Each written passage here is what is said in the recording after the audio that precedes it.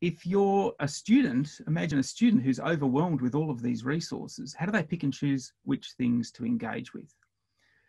Might be that some topics actually are not amenable to a video. They're better delivered to the student either through face to face teaching, and God forbid we ever lose, lose our face to face interactions with students, which we've often had to put up with this year in particular. Maybe a textbook version, maybe activity sheets are the best way to get students learning in a particular topic. So if you decide to make a video, make sure it's for the right reasons. Videos are not the panacea, and we'll come back to that towards the end. So when I think about this, selecting topics for videos, okay, what is suitable for a video and what perhaps is not? Maybe it's suitable to other other ways of thinking. I thought I'd just illustrate this by an example, something that chemistry teachers could all relate to. And you might not agree with me on this one, but I was thinking about organic chemistry, I was thinking about functional groups, and I was thinking about naming molecules.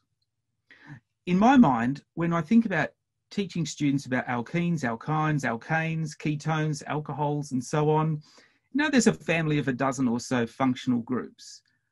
I don't think you need to create a video to teach students about those things. I think you can. I think it would still be really useful to students. But there's not really a lot of process going on there. You're not you're not going to be able to illustrate to students how to do a lot of that thinking process. Now, naming organic molecules that's another story altogether because it's a systematic process. We know we've got the IUPAC systematic way of naming molecules, where to put the hyphens, where to put the numbers. Do you do it in alphabetical or in size of the substituent? There's, a lot of thinking that goes on there, and you can model that thinking process in a video really well.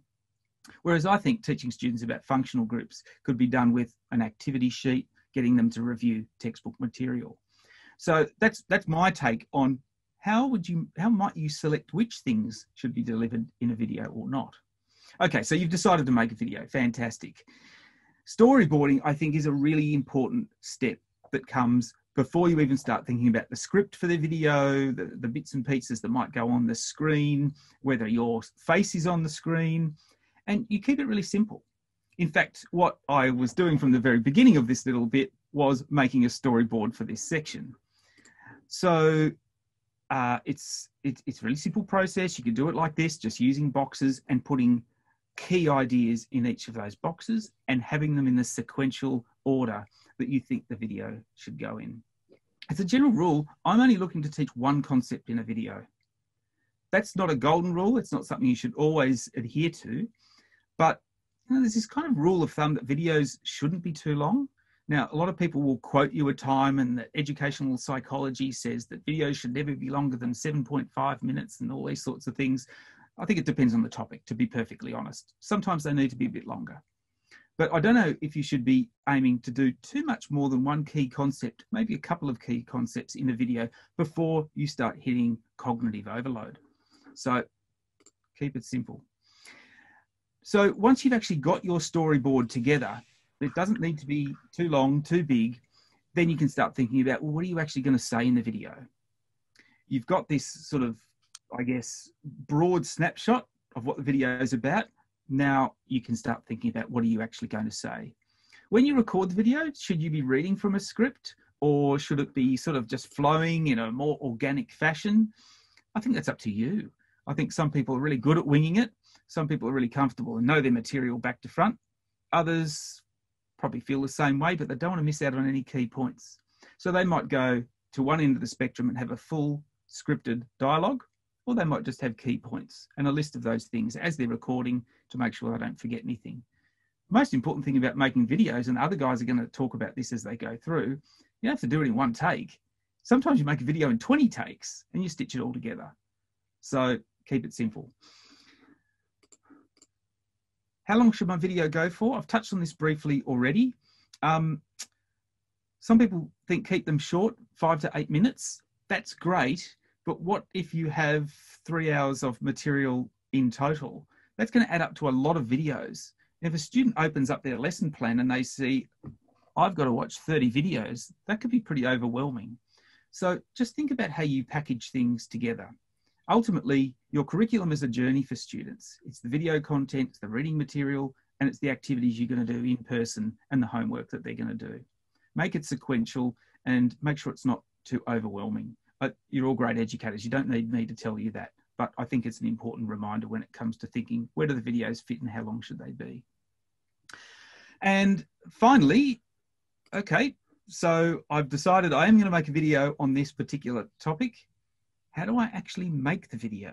There's so many different ways to do it. I'm not quite sure where to start. And I think that's a really good point for me to hand over. In terms of, um, I guess, creating some things, I'm looking at um, the aspect of demonstration videos. Um, and I think one of the things that I've found in terms of what content is out there already, um, there is a lot of information out there, a lot of videos about explanations, but there's not so much the demonstrations that you want to actually give in class. Um, for instance, there's the uh, a number of equilibrium style demonstrations and some titrations. Whilst they ones that have already been made um, may cover some aspects of it, nothing's probably going to do it justice the way that you want it to be done. And you'll probably end up talking to um, your students to say, watch this, but then remember we do it like this a little bit differently. So I find um, some of the demonstrations that I do um, and explanations around that um, really good for me to um, just do something really simple. Um, recording um, demonstrations, obviously you need a camera. Uh, everyone mostly has one because they've got one of these guys, which is a iPhone um, or a phone in general. And you've also got one of these guys, which is a retort stand. This is my go-to setup for recording anything because I still have my two hands. I've shown the kids how we can actually put together a retort stand quickly because for some reason they have no idea how to use a boss head. But um, that's how I kind of look at it. Um, so what I'm going to look at as well is how to get the recording once you've done it off your phone and how it can be utilized in that area. So one thing you might want to record um, is a simple titration of a strong base with a weak acid. For instance, it might be aspirin and sodium hydroxide, where you can actually find the percentage purity of an aspirin tablet that's always a nice one to do, or simply vinegar. So comparing the um, the different acidities of home brand vinegar to some commercial things. Uh, that's another demonstration that, or an investigation, which is a really good lead into um, obviously area study three, which is um, the investigation. That could be obviously in year 11 um, because it technically is analysing something in water, um, and also year 12 because you can basically do it on anything in the course, which is fantastic. So simply put, um, you line up your camera with the what you want to film. You make sure you're actually on video mode um, because numerous times I've pressed record, but it's actually been taking photos. So you're careful on that area. Um, and once you've done it, you can simply record, make sure you're in the view of your thing, record your titration and you might just want to say, show what happens when you simply add the, drop the base and get the color change. Um, or you want to look at what happens when you go way past an endpoint. So you can be demonstrating any of this aspect and say, this is way too much base, or you can show them exactly what the endpoint's supposed to look at. Um, once it's recorded, um, I'll now share my screen in terms of where to find that because obviously there is a way of getting um, movies off your, your phone. Um, you can email them to yourself or you can simply plug it in. Um, and I've got a PC at the moment. Um, I, with a Mac, it's much easier. But if I quickly show you that Just when you plug your phone in, you end up with um, your iPhone. And in here is all your photos. Um, it looks a bit weird because Apple is a bit weird for PCs. But the most recent thing is going to be in the highest number of the folder. Um, and then you can see I've got a whole bunch of stuff here. But if I um, look at it in terms of the date that they were recorded, um, I should be able to see the most recent thing is this guy. If I copy that across to the desktop, um, hopefully it will actually copy properly. There it is. And there's your recording of what you've actually done. And that's as simple as it can be um, in terms of if you're ready um, to record everything, use a retort stand on a phone. You don't need um, fancy pants um, technology, um, things that you already have. within your um, PC, there's a number of different programs that you can use to edit this as well. So if you want to do some cutting up and changing it or adding some background music and things like that, again, with a Mac, it's much easier because you have iMovie on there straight away. And that's um, something that there are a bazillion tutorials on how to use. And even if you just open it up and start dragging stuff around, it's not too bad. But with Windows 10, um, there is now finally a simple movie editor with that as well. So this is what I have used um, most recently in terms of putting together a whole bunch of how-to videos. Obviously, our remote learning information is all there as well. Um, if I just create a new video project, you can then um, name it, drag that video in, um, and then you can start to play around with editing it here as well. So you can trim and split the clip, um, and you can also actually change the speed, which allows you to um, make effects like in the cinematic movies, like this um, thing's titled Making Movies. Um, so changing the speed allows you to do slow motion um, aspects of things as well, which might be helpful if you're trying to showcase a reaction which is over in a split second, like the thermite or um, our beautiful sodium um, in water. That's a great one for slow motion. Um, and even methane bubbles. So that's one thing that I have found is one of the, my go-to demonstrations for anything to do with um, a chemical reaction, balancing chemical equations. You just, you burn some methane um, and it's absolutely fantastic. Um, but again, if you slow-mo that, it looks even beautiful, more beautiful. So um, in terms of slow motion, um, again, split the clip means you can um, change it. So for instance, if I want to get to the point where I've just added the, um, the base to it, I can find that point there and I can say done and it will split the clip into half. And again, split the clip again to where I want the slow motion to stop. So if I come back here to um, just after that. For example, uh, maybe there. Um, that gives me three areas. And then I can turn this one, if I select the middle one, I can change the speed on that one to being a bit slower. And that way, if I play it right from the start, um, you'll see that as it gets to that middle section, that will slow down that middle part. So um, it's just using the software that's already on your computer. There's nothing you need to buy as such. Um, that there are obviously um, things out there, like Nic's going to talk about, um, that will help you. Obviously, there's a slow motion part there um, that can make a bit more, um, have a bit more quality to it as well. But I find sometimes the simplest thing is the best, and a retort stand and a camera works wonders for me. Um, so that's one aspect of making videos in terms of demonstrations. Um, filming what you're doing is one thing that I quite I find quite good. And once you get um, organized with it, you can pretty much do it as you're doing the demonstration to your students. Because another aspect of with this, you can also take out the sound from your demonstration. Um, that will allow you to remove any background noise, and then you can just have it as the simple plain demonstration that you're you're doing. Um, you might wonder, what if I want to narrate it as well? Well, then you can do your narrations afterwards if you um, make a PowerPoint, and I think Nic's going to talk about PowerPoint um, in that area as well, and how that can be utilized to create um, videos. So there's a few options in there in terms of that, and throughout my videos that I've made for chemistry um, under the Chemisode um, tagline, um, I've done it in a number of different ways. I've recorded some which are straight from the camera, but then some that I've actually gone and put into um, PowerPoint and then narrated over the PowerPoint as the video is playing as well. So you start to see how you can incorporate some of these techniques together to make something that kind of fits the bill a bit more. Um, the other aspect that I was going to talk about um, once you've got your movies done is um, looking at the engagement of the students in your um, class to see how they're actually going with it. But what I might do is I might um, throw back to Nic because this is looking at um, making of the movies. So I think I might pause on that and let Nic talk about um, some other aspects of that. Thanks, Jace. Okay, I just wanted to talk to you a little bit about PowerPoint and Camtasia because all of the videos that I've created, I've only used PowerPoint and I've used Camtasia.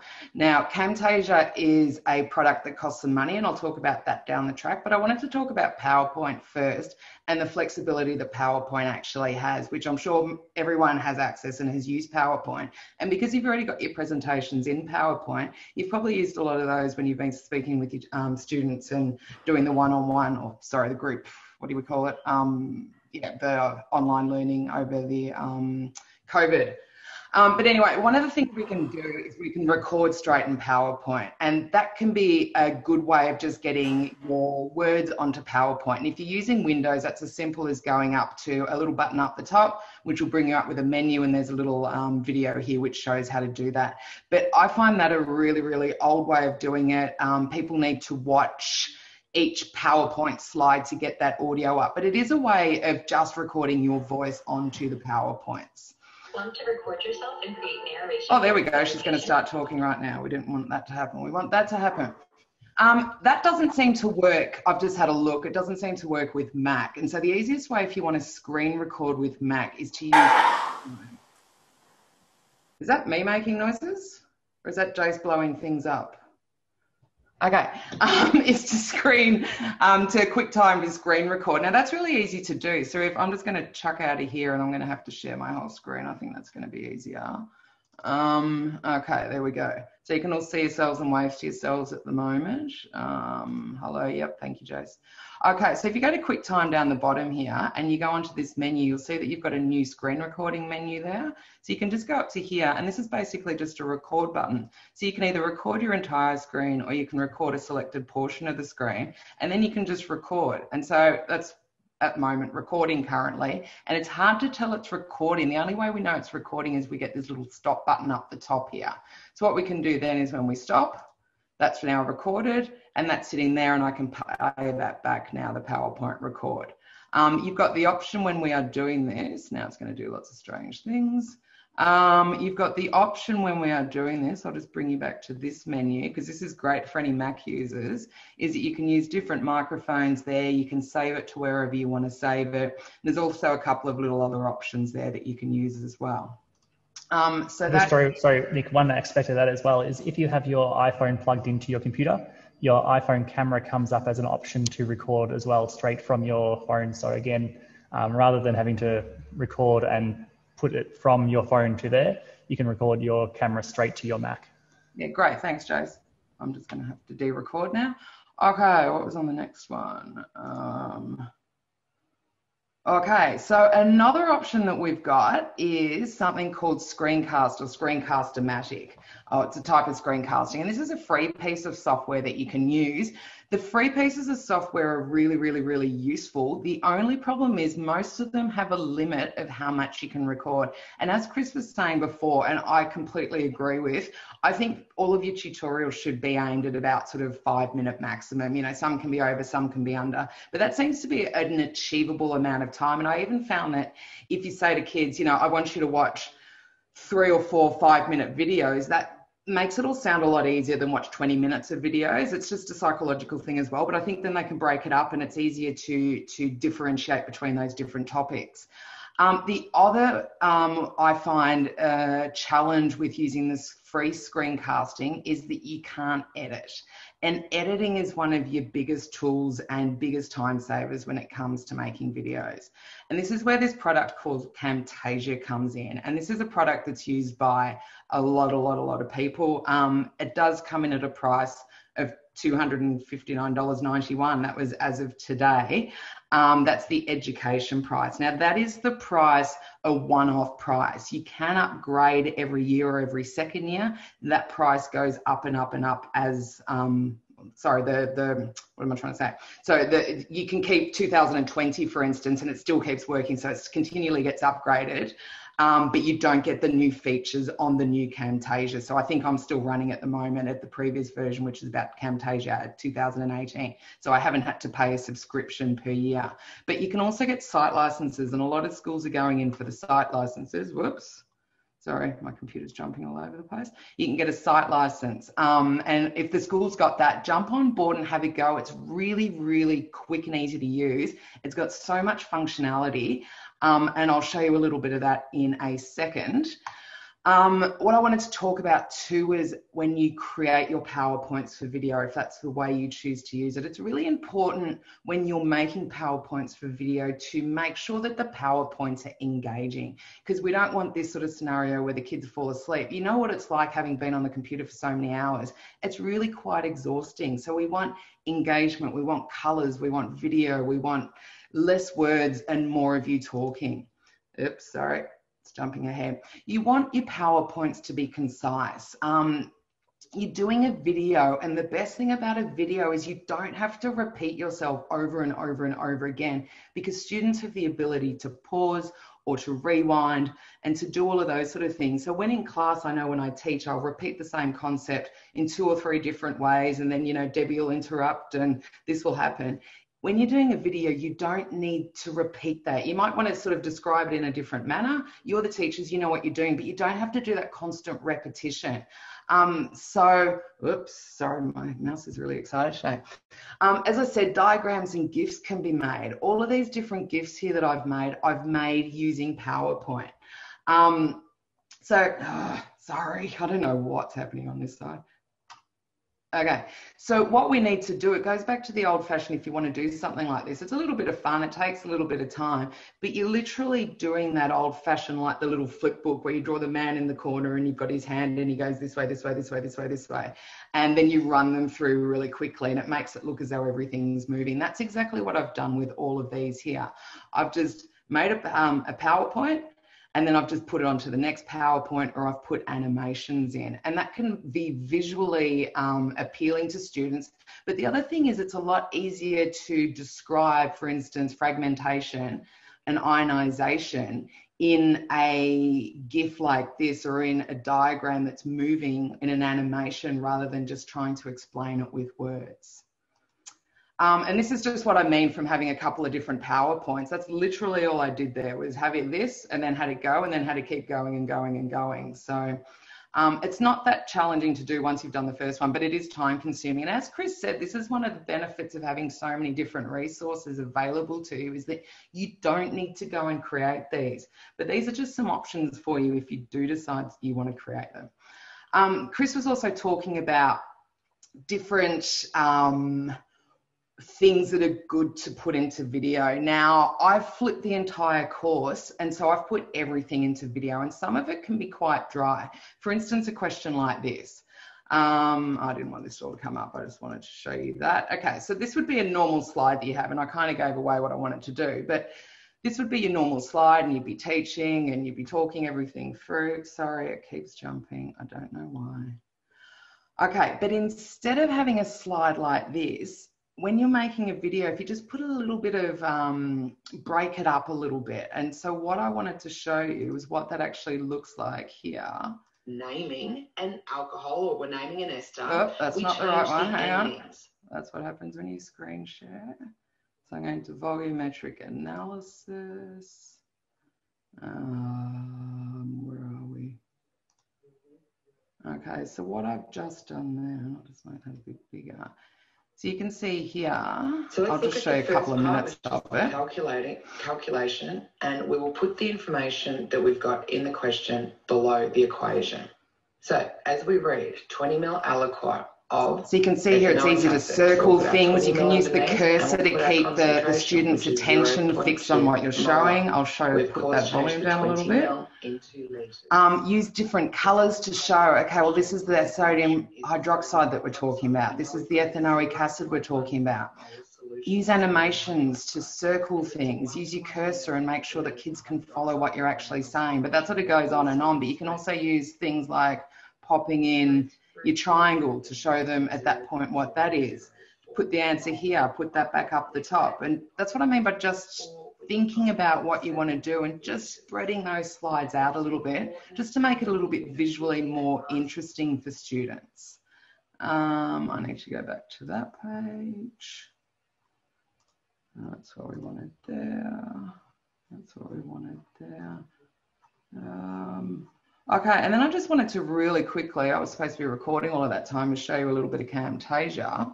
So here is my Camtasia. So I've just opened it up here, and this is really disconcerting with that on, but I'll just record a little bit while I am talking. So it's a simple Camtasia is just hitting start record like so.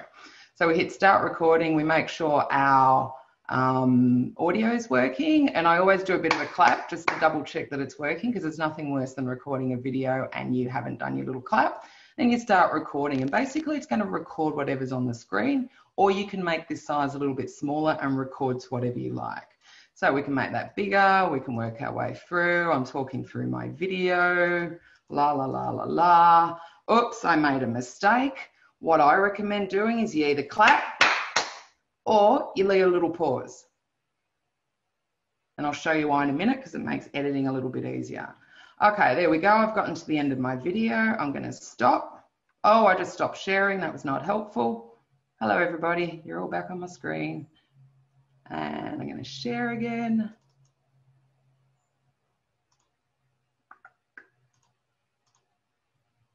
Can you see my screen? Okay, I got one nod. I got two nods. Okay, there we go. Thank you. Um, okay, so I've come up to this uh, thing up here. I hit stop recording. And here's what I've just recorded literally. I can drag that down. Sorry, there's one that I did earlier. I can drag that one down to the bar here. And now it's so easy to record, um, to edit anything. You can see here, okay, well, I didn't want all of that front bit. So I'm just gonna go like that. I'm gonna cut that little bit off and I'm going to ripple delete. So there we go. I'm going to start from that point. If I want to, I'm going to look for where my claps are. There's my loud clap. If I play that, you can hear the clap. So I'll go back and I'll listen to my voice recording there. So I can now cut out this section. I'm going to make it a bit bigger because it's hard to see. Okay, and then I can just cut that section out here and then I've edited that little bit. Oops, hang on. And I can just slide that back. Okay, so it's as simple as that. And there's so many different functionalities that you can use with it. You can annotate, so you can put in little, I want to put a little bubble because it's important, or I want to point to something because that's important. You can put transitions in, so you can fade in, you can fade out. You can um, make words do things. There's animations you can put in, and there's even some interactivity that you can add some quizzes to it. But I'd need 15, 20 hours to go through all of this with you. But I just wanted to show you that it's something that's there and it's available.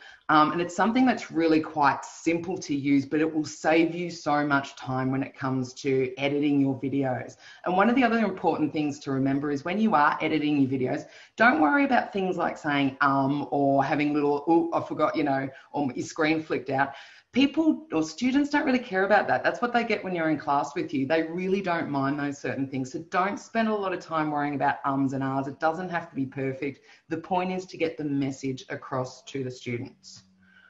Okay, that's me done for a bit. I will stop sharing. Who are we on to next? Chris, I think. Yeah, look, just just me really briefly. Um, I'm just going to again share my screen and I was where was I going to go to? Uh, this one here, I think. Um, just going to really quickly talk about. Can I move that? Uh, my channel on YouTube. Um, I go to that page there. There we go. Look, years ago, um, when I started making these videos, it you know, at the university, we have a learning management system. A lot of your schools are going to have different learning management systems where you host content. Um, this year with homeschooling, I learned about something called Seesaw. It was pretty horrible, but anyway, let's not go down that path. One of the most simplest ways to host video content is via YouTube. It's it, it's kind of faultless in that YouTube is so big, it's robust enough to work on just about any device. So Mac, PC, Linux, any smartphone you can imagine, YouTube will probably work. So it is a good um, hosting option. This is uh, my channel, so I created it. All you need to have your own channel is your own Gmail um, email address, and then you can you can uh, create your own channel. And very simply, once you're in there, you'll have this little button up the top right-hand corner. Hover your mouse, you can see it says create. You click on that, go to upload video, and you can either select the file manually, drop and drag the MP4, or you might have used a different format. I usually use MP4 uh, and drop it in there and it will just start uploading. While it's uploading, I'm not going to do it in real time, just going to speak about this really quickly. You can name the video, you can adjust the settings. Now, I know this is something that a lot of you care about. You don't want the rest of the world seeing your video, you just want your students seeing your video. Well, you can change the settings from either public to so called unlisted. Now, that doesn't mean that's completely locked down, but people need the URL to access it. They can't just search it and it will come up. It can be a link that you send to your students, and they'll, in principle, be the only ones who can watch the video. Of course, they can share that link with their mum and dad and they can watch it as well, but that's probably not going to happen. Or you can have it to completely private settings and you have to add people manually for them to be able to view the video. And that will come up in those different settings there. If you go into the analytics section, which is a, is a bit of a menu on the left hand side, you can actually look at how many of your videos have been watched, how many views they've received. Uh, if I click on a particular video, I can see analytics about that video, how many times it's been watched. You got to love this one audience retention well, pretty quick drop off early on. For some reason, it highlighted at four minutes 10. Who knows why? Uh, and then you can see only 18% of people watched it right to the end. Now, this goes back to video duration that we were talking about earlier. If you make a 15 minute video, you can expect this to really tail off. So, short and sharp is um, the evidence, all the evidence will tell you short and sharp is best, not just for sort of minimizing cognitive overload, but just in terms of keeping students' attention. Look, this is really easy, so I'm not going to spend any more time on this. But when we're talking about engagement, I'm going to throw to Jason, who's got some really nice tips and ways of measuring and keeping engagement up. Thanks, Chris. Um, yeah, and that's what one of the things that our school particularly wanted to look at with our remote learning as well. Um, and obviously, um, whilst we're out of the well, currently we're, we're face to face, back to it. Um, I think if you are looking at flipping or blending what you're learning with online videos, I think looking to see engagement is really important. And whilst YouTube does have the um, the audience retention and it does have the view count there, it doesn't say exactly who um, has looked at it, and that's where having other things that support the engagement of students as well is really important. So that's that's my thing there. I was just looking at that as we go along. Um, a couple of things that we've looked at for engagement were simply using the Google Suite um, on Google Apps for Education and, and putting in Google quizzes. So one thing that I, I, did is have simple Google quizzes with in, embedding a video to start with. So when I share this um, Google quiz with the students, they see it that as it comes up like this. Actually, I've already filled it in, so I, I can't do it. I just changed the settings on that so I can actually fill it in again. Um, uh, it will look similar to this. So the video comes up here as an embedded link um, that can be played um, and you can get the theory, I guess, that you're, you're delivering. Um, and underneath it, you might have your questions. Um, this is a whole bunch of multiple choice questions that I found um, on a lovely resource by Googling it. Um, and with this, I didn't have to write it all out again. All I do is simply um, do a screenshot and put the, the picture in there and put in a reoccurring A, B, C, D, E. So it doesn't take a lot of time to, to create a lot of questions from things that you've already seen and past exam papers and things like that.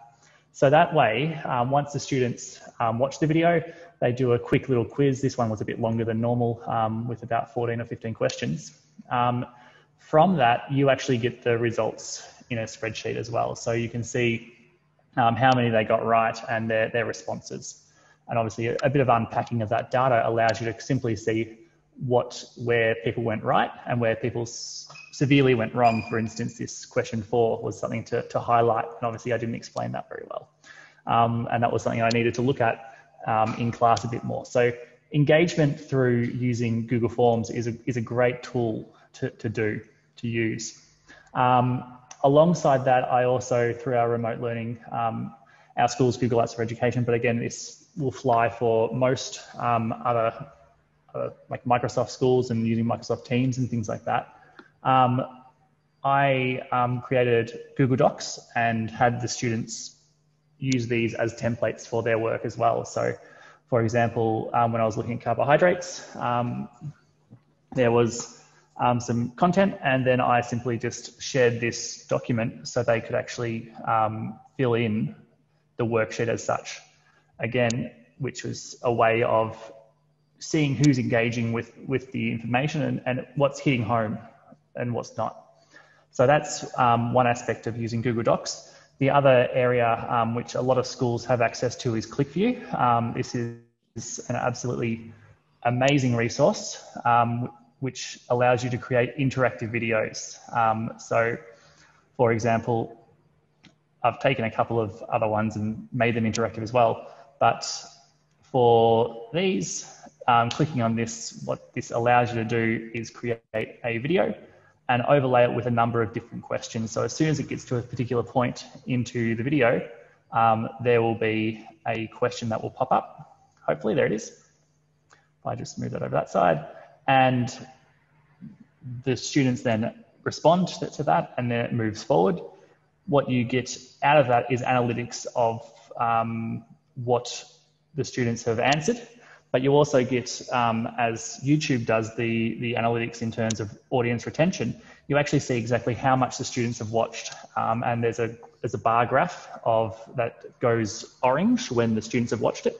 And you can often see the fact that they've watched the first um, 30 seconds and the last 10 seconds and pretended that they've actually done it. Um, and that really helped with our school in determining engagement within our online um, environment that we created in there. And there's other, there's lots of other tools in terms of that, but it's really about looking at your, um, looking at what you're used to using in terms of online um, assessment, and then providing that alongside the video. I also use a lot of interactive Kahoots. So Kahoot is, a, is an amazing um, tool for um, in class, looking at gamifying your, your class in terms of having students competing against each other. But there's also not just the um, in-class version, there is the, I can't remember what they actually call it, but there's an offline, like the not in-class version, where they, it's self-paced.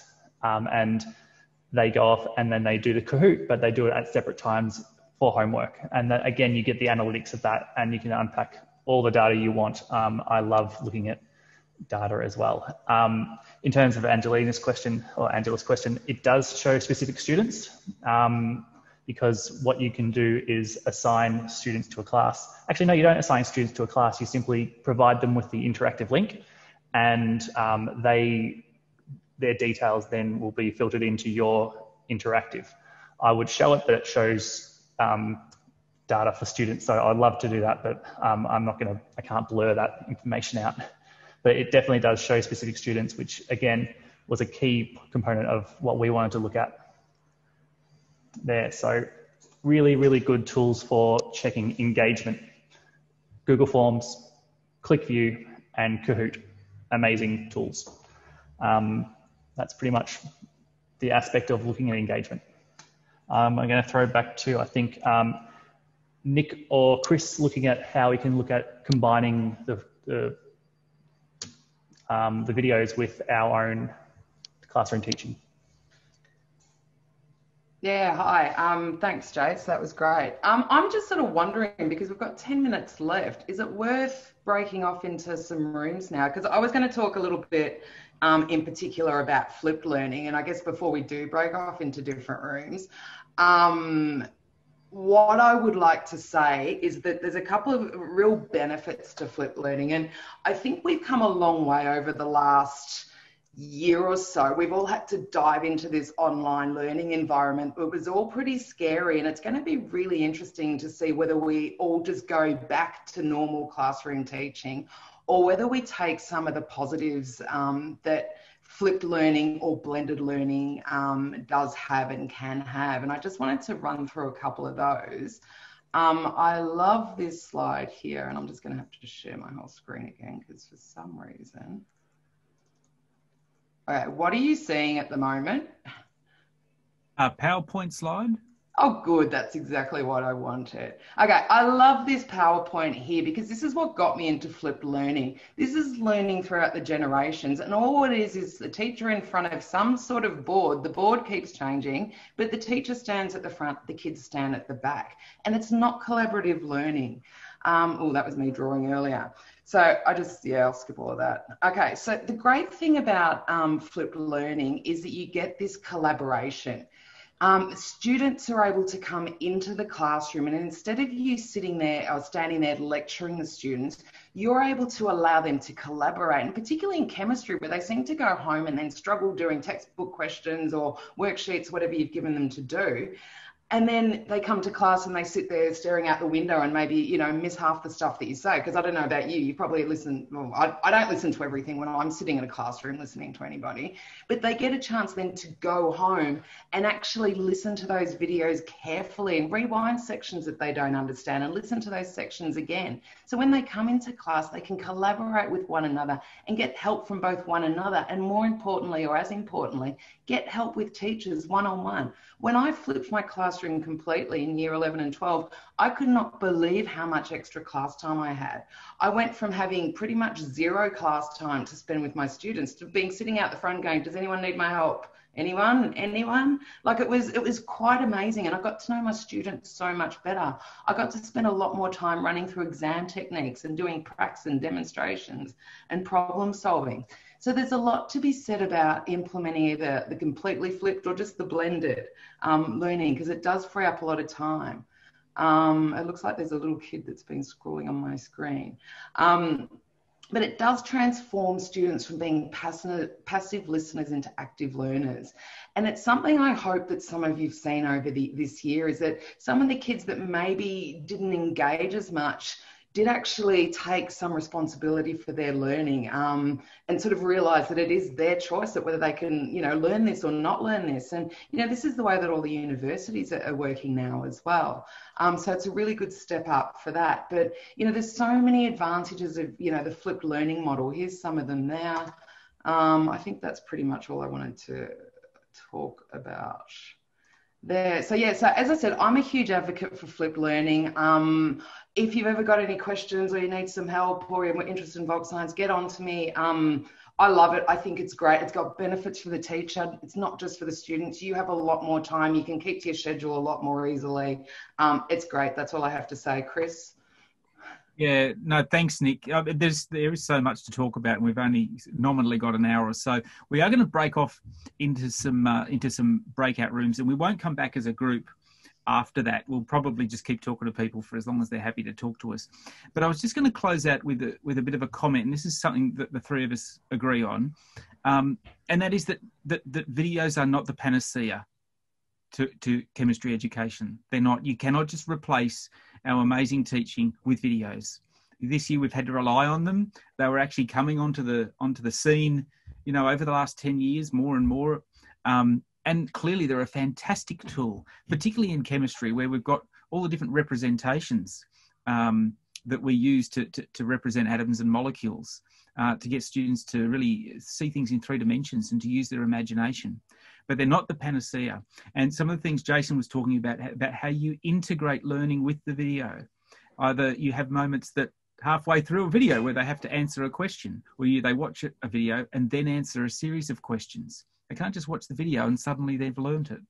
So it's not a panacea, but um, I think we all agree that they're a really important tool going forward. And of course, we know that this generation they've just they've grown up with video, so it's a natural part of the way that they engage, not just with their learning, but I mean, my son, he just watches other people playing computer games on YouTube for hours and hours and hours.